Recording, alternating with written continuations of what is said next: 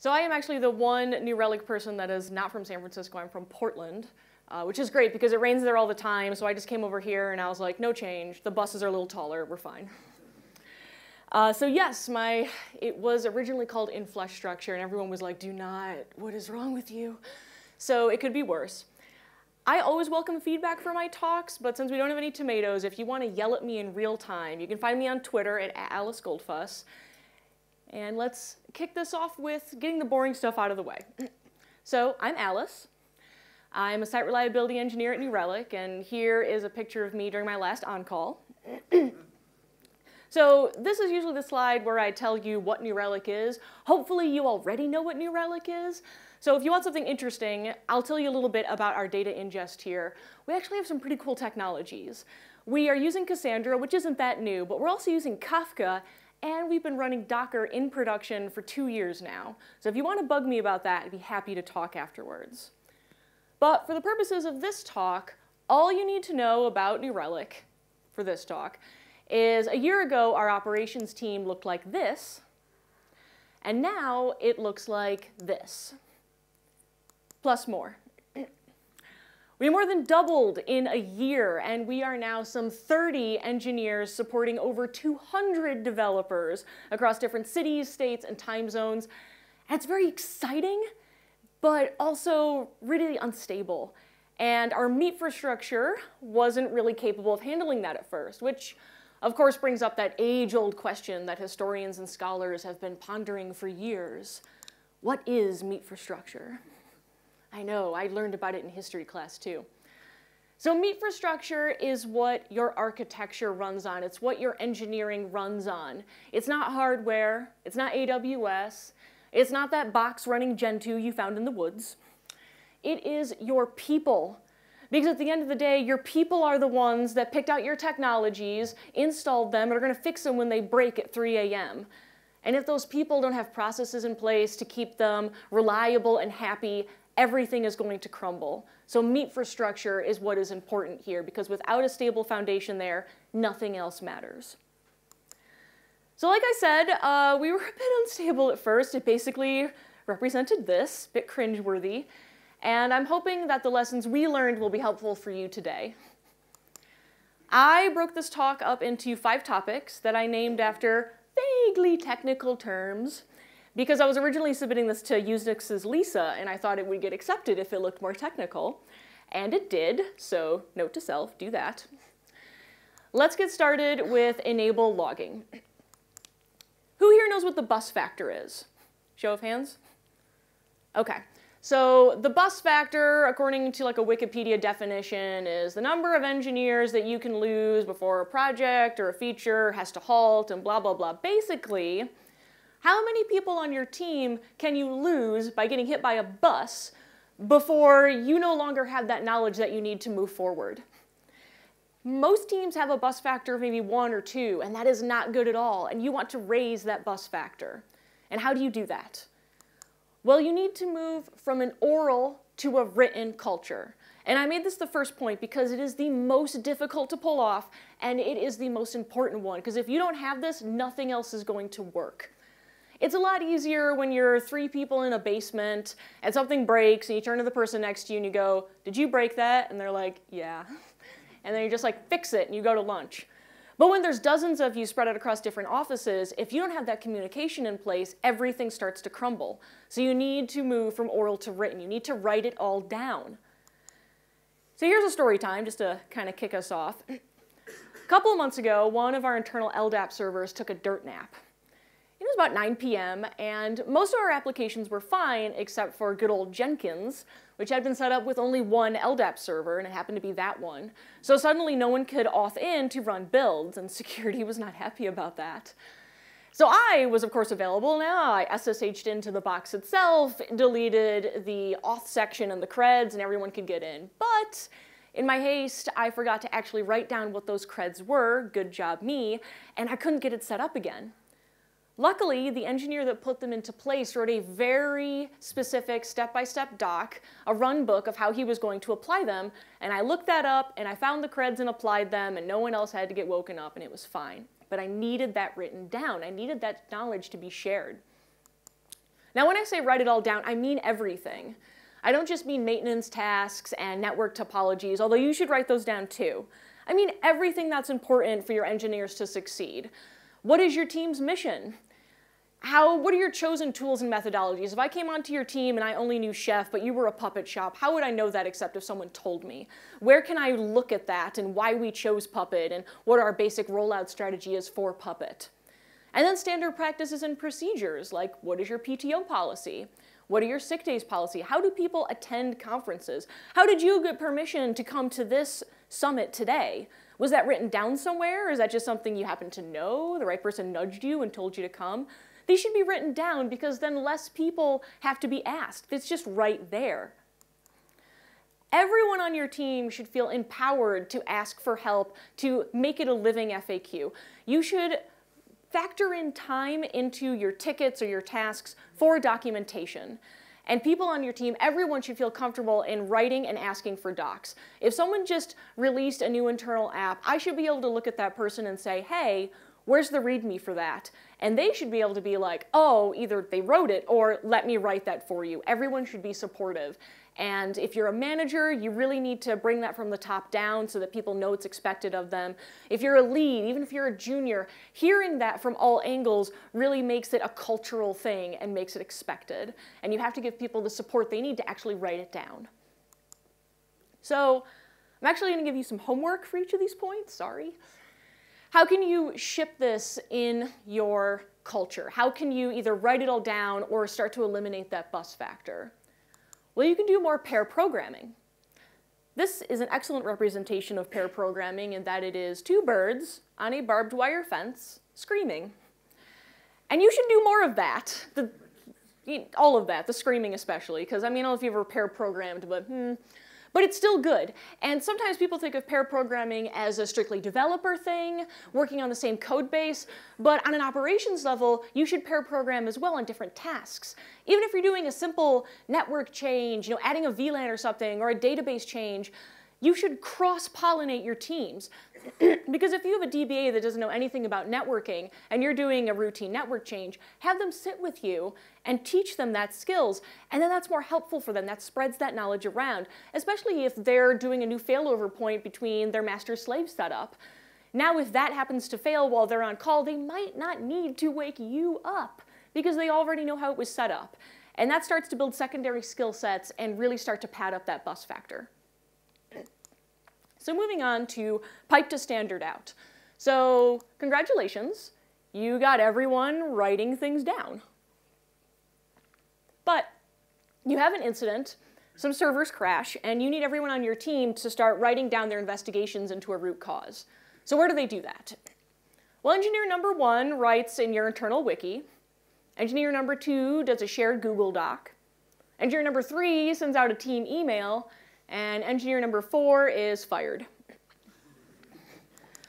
Writing it all down doesn't mean anything if it's all in different places. What you need is a single source of truth. Now, what do I mean by that? Well, a single source of truth has a few key attributes. Everyone knows where it is, everyone can contribute to it, it's searchable, and it's archivable. And that last one especially doesn't mean chat logs, Sorry, chat ops people, I don't want to go searching through HipChat or Slack for what broke two days ago. It has to be somewhere else. It has to be in a more specialized format. So New Relic Engineering actually uses GitHub for a lot of our documentation. We have a private instance, GitHub Enterprise for this. Uh, we have GitHub Pages, it's like a Jekyll generator for company processes, and that's really great because anyone can open a PR on that to change things. We use gists for like one-off configuration tasks, and we have repos just for runbooks, like that one I was talking about with the LDAP change. So engineering uses GitHub, and marketing uses Confluence, and project managers use Quip, and yes, I know these are all different tools, but the important thing is, is that they're all in one place for the people that need them. If you're in engineering, you know where to go, you go to GitHub. If you're in marketing, you know where to go, you go to the wiki. And as long as the people that need that information know where to go for it, it's fine if it's in different tools. Now at this point, you might be being like, hold up, is this a documentation talk? because the first point was about documentation, and the second point was also about documentation. And Alice, do you know who I am? I'm an engineer. I work at web scale. I treat my servers like cattle. I don't have time for documentation. I don't have time to write it all down. Well, okay, yeah, you're an engineer and you work at web scale and you treat your servers like cattle, but interestingly enough, you know who's really into organization and documentation? Cattle ranchers.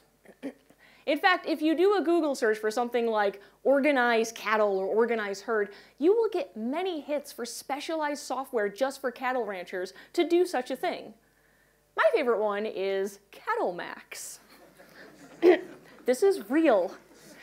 You can get it on your smartphone, so when you're out on the ranch and you've got data, you can just check things on your phone. It's got everything you need. Inventory management, performance metrics, and life cycle tracking. if you want to treat your servers like cattle, you need to be at least as organized as a cattle rancher, okay? Drop mic, end of talk. so let's ship this. Why don't you take that whole DevOps thing to heart and actually make an app where people can find information in one place? I mocked one up and I call it What's on Fire Today? Now this can just be a UI front for Nagios or whatever you have running. It just, you know, I mean, who wants to look at Nagios, am I right? Just, just put this in front of it. Uh, bad servers float to the top, so you don't have to scroll trying to find problems, it's right there. And you can even add notes to let people know what exactly caused that server to go down. And again, this is just a great place. Anyone can look at it. Someone internally can make it to have a sense of ownership, and you can customize it to your needs. And it's one way, Docs doesn't have to be just a bunch of words on a screen. It's really about knowledge. And As long as that knowledge is all in one place and people can access it, you're good. So let's move on to default configuration. So you're writing everything down, and your team is writing things down too, all in one place, but you also interact with other teams in your company you're part of a greater architecture moving together. And how do you handle that? I mean, especially if you're on the operations side, you're going to be serving dozens of requests every day from developers that need something from you. I mean, how do you prioritize that? Is each one a different type of request, a different process, or do you have a more of a set thing in place? I mean, how do you deal with that mm, turmoil? Well, I'm going to give you some valves you can put in place to kind of stem the flow and the stress of all those requests hitting you. These are things that we have in place at New Relic, and I like them a lot. The first one is the concept of the hero role.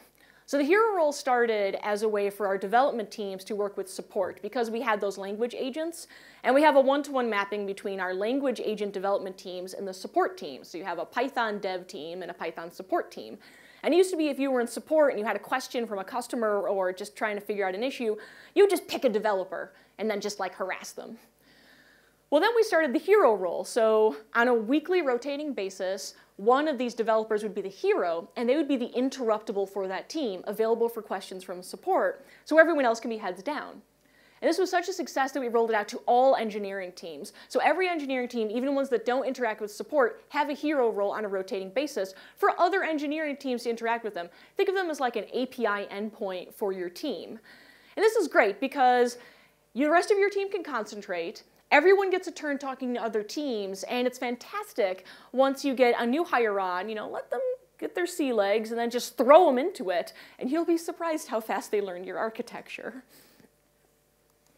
Also part of the hero role are office hours.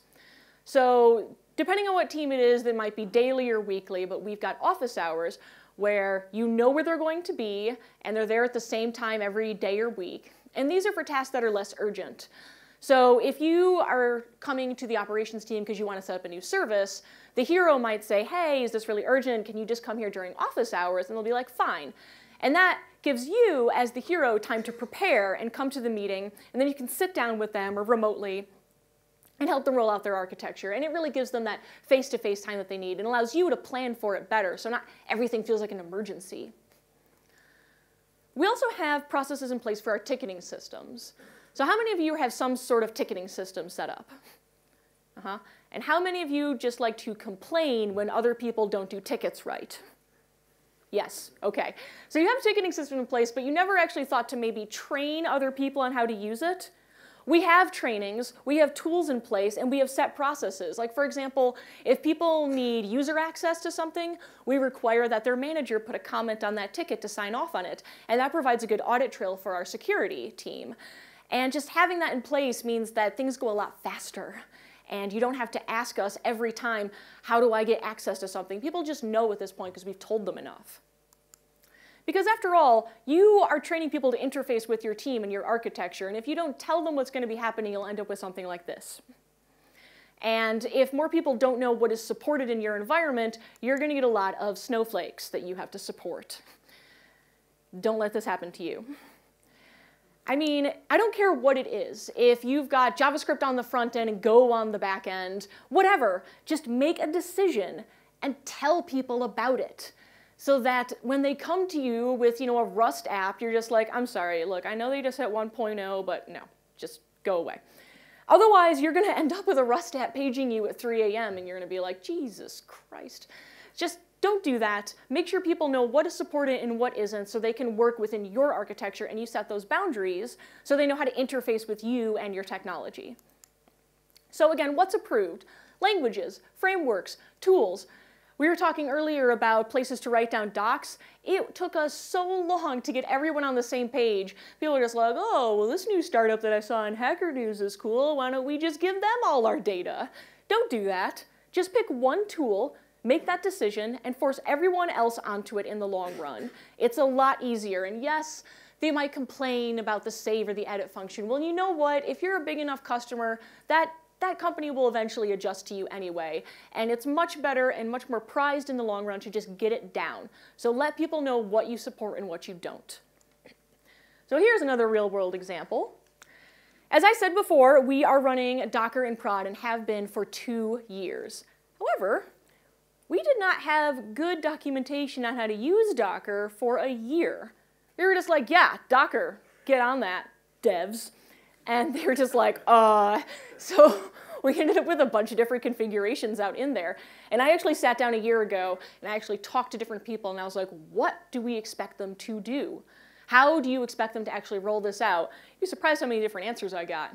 And I came up with very detailed step-by-step -step instructions on how to deploy with Docker at New Relic. And we had on-build images and things they could download to make it as easy as possible to get them set up. And man, our Docker story got a lot better almost overnight. Now everyone has a better idea. They can go to some place to get a cookie cutter example. And if they have more specific questions, they've already read the docs, and they can ask those more specific questions of your hero, and everyone's on the same page. So that was a great idea. Should have done it a bit earlier. So let's ship this. I said before about our ticketing process and how we trained people. We actually recently rolled out an internal app uh, that allows people to just go in there and fill uh, common requests of site engineering out. This is just a, a Google Forms uh, app on Ruby on Rails. And basically you go in there and there are forms for user access, provisioning. I think we, monitoring is there now, not provisioning yet. But you're basically just given this form. It asks you all the questions that we need. And on the back end, it creates a JIRA ticket with all the information we need, and then we can fulfill that request. Because before, they had to come to us and sit down with us for an hour and we just repeated the same things over and over again about what we needed to see in that ticket. Now, we don't have to deal with that and they don't have to deal with us. And frankly, who wants to deal with ops anyway? Uh, this is a lot better. And again, it's kind of a DevOps solution. We made a tool that, that caused a, an operation solution for developers. It went better for everyone. So stable distribution. So we worked on your team and how your team interacts with other teams, but that might just be within your office, and everyone knows that distributed systems are the new hotness. This is a photo of a distributed system in that you break something into pieces and people give you money. Eventually, you're going to have to hire remote workers. You get big enough, remote workers are going to have to happen if they haven't already for you. And this is a good thing. A lot of people cringe when they think about hiring remote workers, and they shouldn't because remote workers are to your advantage. It ensures you get the best talent possible of those people that are willing to work with you. It ensures that you have regional connections, especially if you're an international business. It is so much more valuable to have someone in that region speaking to those customers, dealing with that culture, than for you to try and guess in a clumsy way like I do every day in London right now. And it allows them to actually uh, attend conferences and events that might be out of budget for you. So remote workers, good decision, you're gonna have to do it eventually. But you wanna make sure sure they're supported. So who here has been a remote worker? Who here would do it again? Yeah. So I was also a remote worker. Here's a picture of me during that time. I did not enjoy it, and I didn't enjoy it for a number of reasons. I was originally in office with this company, and then I moved to Portland, and I was their first remote employee, and it went pretty bad. So why did it go bad? Why didn't I like it? Well, I was immediately left out. I took for granted all of the water cooler camaraderie that I had gained from being in office. And as soon as I was out of that office, I really lost that connection with my team and my other coworkers. So I was just culturally left out. My learning immediately plateaued. because it turns out you don't know what new technologies to learn if you don't know if they, if they don't exist. So if I was sitting there, I could hear people talking about things, and then I could go Google them and teach myself at night. But when I was out of that environment, I didn't have any of the jargon, and I wasn't really aware of like blogs and things at the time. I wasn't that good on Twitter yet. So that was my only outlet and, and, and connection to tech, and I didn't have it anymore. And out of sight, out of mind, as soon as I left, it was like my manager sort of forgot that I was a technical hire and not a receptionist. So that didn't go very well either. But this can also happen in different flavors where someone moves away and suddenly you forget what all their skill sets are or that they're even there and maybe you should invite them to that meeting. Don't do that. Now, hopefully, your remote experiences aren't as bad as mine and the remote experiences of your teammates aren't either, but having a remote worker can be an invitation to a whole cornucopia of bad times and we want to try and fix that. Because I think the major theme here, and yes, I realize I have a Titanic reference in London, I'm sorry. Uh, the main theme here is we do not want to treat remote workers like second-class citizens. Do not do that. I mean, after all, you want them to work for you, and you're fine if they're not in the office. That's how much you like them. They could be a psychopath in the woods with like T1 lines nailed to the trees, and you're like, great. So you, you obviously care about them, so you shouldn't treat them like they're second-class citizens. So what are some things you can do to level the playing field? Take notes during stand-ups. We use, I don't know if you're familiar with the MIT project Hubot. It's a, a bot that you can put in HipChat or other chat programs. And one of our engineers actually wrote a program that you can initiate it and everyone feeds their stand-up notes to this bot. And then when you're done, it publishes them as an archive to a GitHub gist. And then everyone can just look at them on their own time if they're in different time zones and they know what their team is working on. We also record meetings, all hands meetings, team meetings for people that can't make it. And we fly people in to get that FaceTime. Fly them in once a quarter. Impress me and do it once a month. I mean, even video calls really don't get you that face-to-face -face time around the water cooler, people talking to you and remembering how tall you are and that you exist. You need to have that even if they're okay working remote. We have the Matt Headroom approach, this is Matt. He is one of our remote workers, and he's just always on a laptop behind me, which is super creepy because he's just always watching you and you forget he's there, and when he types, it sounds like bugs. Uh, but it's really great because I remember that he's there and like he's one of the team, because he is part of the team. and if I have a question about something he's working on, I can just go sit down next to him and talk to him face to face instead of typing or even forgetting he's there and asking someone else that's not as knowledgeable about his projects. Just having that person there, even if they're on mute the whole time, is helpful for everyone. Also, make sure your remote employees have the same swag as your in-office employees. Hoodies, t-shirts, conference tickets, if you take your local team out to a celebratory lunch, you should make sure that you give a gift certificate or something to that remote employee for a local restaurant. Make sure that they are also included in your celebrations as well as the workload. Because I don't know how many times I hear about people just not Like they don't get the swag, they don't get the stickers, they, they feel completely left out. Like they're like, well, I, you know, it's a living, but they're not really part of the bunch. And having swag and the same, the same hoodies and whatnot really goes a long way to making them feel included.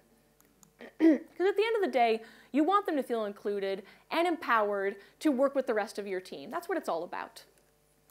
So let's ship it. Your next big project, give to your remote worker.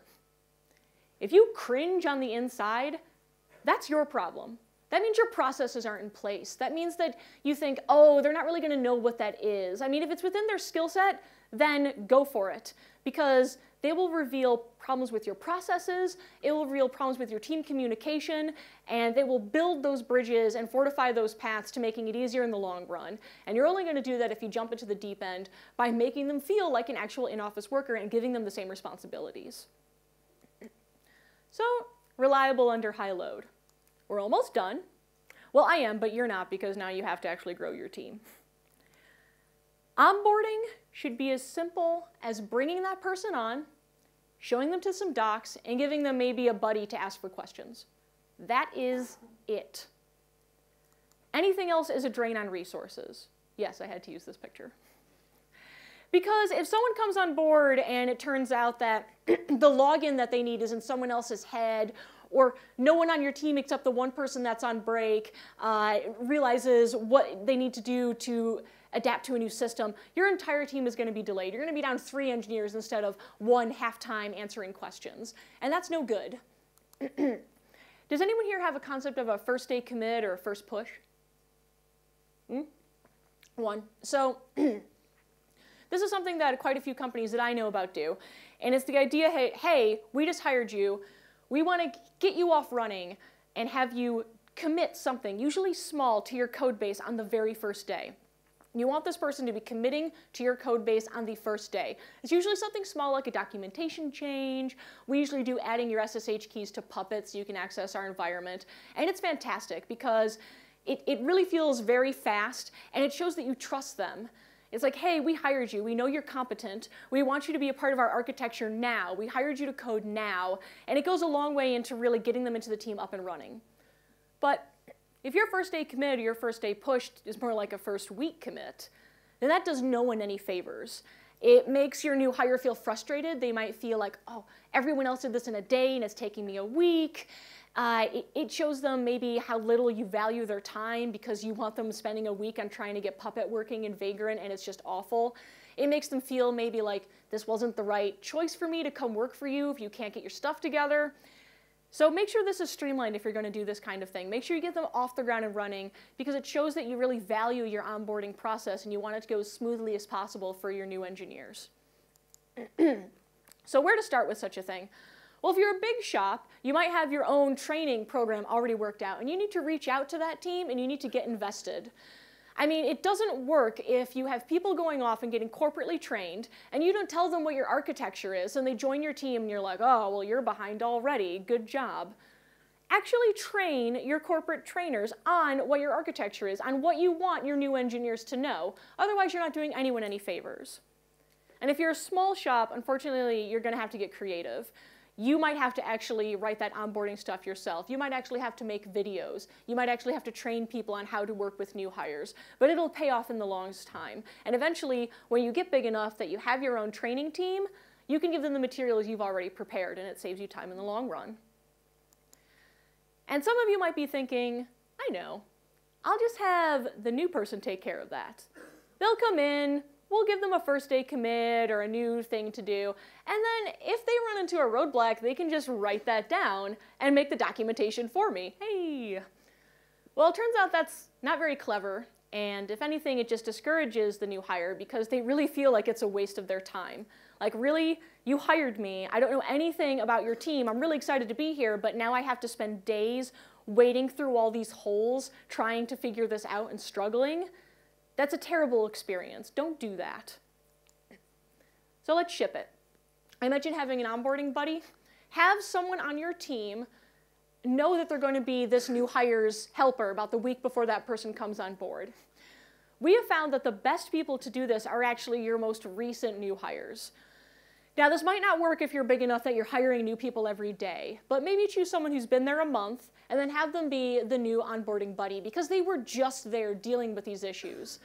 At this point in time, I am a terrible onboarding buddy because when I started, like there was a wiki page that walked me through how to get New Relic running on my laptop, which you can't do anymore, and I don't know where all these sign-ins are that you need these days. But the person who was just hired a month ago does, and it's way more, it feels better as a new hire not to be put with the most experienced person, to be put with someone who's in a similar boat to you, and can be like, yes, I know this is overwhelming, but this is what I had to do, and I'll introduce you to the right people, and they're really nice, and we'll do this together. So I have an onboarding buddy ready. So we've talked about five topics that were vaguely technical in name. But what they really mean is this. Share info in one place, help other teams help you, make remote workers equal, and make onboarding smooth. So for sharing info, we talked about pair programming and screaming birds. Make sure that you can share tasks and spread them out your, skill, your skill sets to kind of build up those secondary skills. For all in one place, we talked about making an app because docs don't have to be just boring words. They can be uh, an application, it can be something cool, something inviting. For helping other teams help you, we talked about uh, making sure that they can interact with your ticketing system and they know how to interface with your team. And this application that we wrote that takes in their request via form and makes a JIRA ticket for them automatically. For making remote workers equal, give them a project make them feel equal, do that, do the legwork, because it'll reveal holes in your processes and your communication. And it'll make them feel more part of the team. They'll have to interface with other people, people will be reminded that they exist. It'll help them on their career and their promotions. It's just better. And make onboarding smooth. Give them an onboarding buddy to really help them out, someone who knows the lay of the land because they've just been through it themselves. Because at the end of the day, you want people to know that that meatfrastructure, that stability, comes from your engineers. And if your engineers aren't set up to succeed, they're not going to be stable, they're not going to be resilient, and they're not going to be able to build and support the technology that you need them to do, and everything is going to crumble. So thank you very much.